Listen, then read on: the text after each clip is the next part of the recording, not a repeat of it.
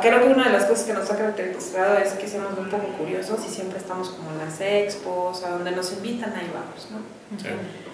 Y empezamos a incursionar en el tema de los alimentos y era algo que, que de origen yo siempre traía la inquietud, decía, oye, pues vamos a buscar, vamos a explorar. Y descubrimos en alguna expo materias primas a base de almendras y empezamos a meternos ahí, ¿no? Y, y pues nos empezó a gustar, ¿no? Creo. Desde que notamos el- que el producto podría ser un, un buen, un buen elemento dentro, de- dentro del mundo de las bebidas, realmente quisimos hacer algo diferente. ¿no? Todas las bebidas que actualmente encuentras en el mercado son pasteurizadas, son líquidas, y dijimos, bueno, queremos hacer algo que sea totalmente diferente a esto. ¿no? Muchas pruebas de laboratorio casi fueron a prueba y error. Para empezar a, balancear la, misma cuestión de los polvos, balancear la estabilidad, el sabor, que, eso es un diferenciador muy importante en el producto, aparte del sabor y con buenas partes nutrimentales. Entonces empezamos a hacer, digamos, como un, una cartita Santa Claus del producto, es decir, bueno, quiero que contenga esto, que contenga esto, que sí sea una bebida funcional, que tenga muy buen sabor, que tenga buena apariencia, eh, cuidar toda esa experiencia del usuario del mismo producto, desde que lo abres, cómo se ve el, polvo, si lo pruebas a una cucharada, que, que, que tenga un sabor bueno el producto,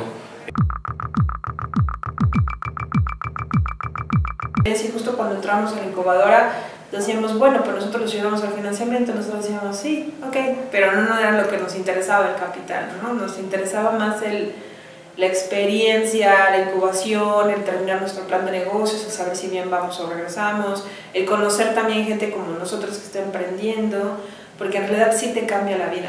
Yo creo que hasta ese entonces nosotros, nosotros, este confirmamos que estábamos por el camino de, de, de, de, crear una empresa, ¿no? Lo que nos ayudó fue a, a estructurar un poco más lo que, lo que ya estábamos haciendo, ¿no? El conocer más a fondo temas legales, el conocer más a fondo temas de inocuidad, ¿no? En la parte alimentaria, el cuidar todo eso, porque ese es un plus de, de, de, de tu venta. O sea, si en algún momento por nosotros cuidamos hasta el detalle a través de lo que conocimos en, con, con Fumec, cuidar el detalle inclusive en dónde vamos a producir y que con la tranquilidad de que un cliente puede ir a, o podemos llevarlo a la planta y decir, mira, aquí se produce nuestro producto y estos son los estándares de calidad.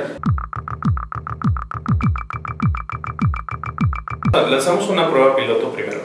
O sea, una prueba piloto, estamos hablando de que produ- producimos una tonelada 300 de producto, que fue la primera que nos dio un poco a hacer los, los protocolos de producción. Digamos que cuando hicimos esta prueba piloto fue, fue un poco testear, darnos el lujo de probar, eh, de experimentar con los canales de venta, de saber cuál era nuestro cliente perfecto, eh, la manera de comercializar, encontrar las oportunidades. Esos son problemas felices. ¿no? Este, eh, mira, realmente cuando nosotros eh, decidimos los proveedores, decidimos las plantas de fabricación, este, realmente siempre nos fijamos en la parte de escalabilidad, ¿no? en la parte de crecimiento que pudiéramos tener. Entonces, esa parte no nos, no nos tiene preocupados, ¿no? sino más bien ocupados en el sentido de que, bueno, hemos estado abriendo los puntos de venta de manera, digamos, lo más precavidos posibles, ¿no? para que no se vaya a disparar de alguna otra manera y, y nos crezca la demanda y que no podamos, este, eh, vaya, ahora sí que surtir en, en tiempo y forma por